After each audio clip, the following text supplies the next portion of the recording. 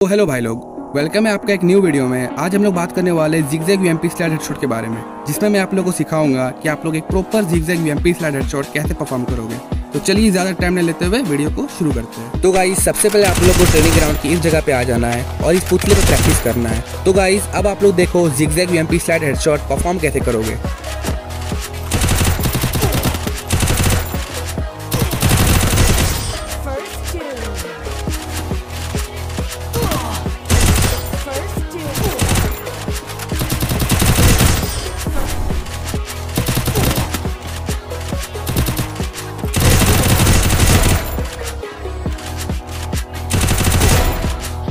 तो इस ट्रिक को परफॉर्म करने के लिए सबसे पहले अपना स्क्रीन लेफ़्ट साइड स्लाइड करना है, फिर बैठने वाला बटन पर क्लिक करना है, फिर स्विच एंड फिर से राइट साइड स्लाइड कर देना है। फिर स्कोप ऑन करना है और जिस साइड एनिमी है, उस साइड आप लोग को राइट फायर बटन से ही फायर करते हुए अपना एम लेके जाना है।